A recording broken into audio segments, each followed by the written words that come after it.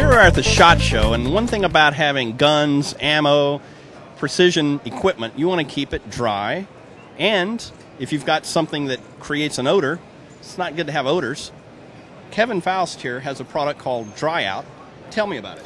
Well, I'm with Des- Desiccare, and this is one of our newer products. Uh, we make it for both your shoes or boots, and we make it for your duffel bags, gym bags, your knapsacks, etc. Uh, what it is is it's a desiccant blend of activated carbon mm-hmm. and silica gel. The carbon will absorb the odors. The silica gel will absorb the moisture. Very simple. It's in a plastic container that you unscrew the lid.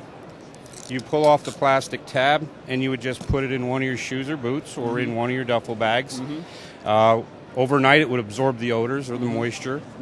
And in the morning, you just put your lid back on, and it's good to go for the following day. So you could Pretty toss it in a, uh, uh, camera case, a, a gun case. a hamper, Yeah.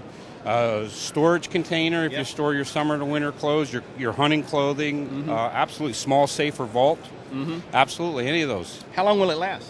Uh, that's going to be dependent upon how often you're in and out of that Mm-hmm. particular item, mm-hmm. and mm-hmm. if you're in a drier climate like Las Got it. Vegas or a more mm-hmm. humid climate like Mississippi, it's going to all impact. So you got a lot of variables there. Okay. All right. Fantastic, Kevin. I appreciate you stopping by. You got it. Thank you.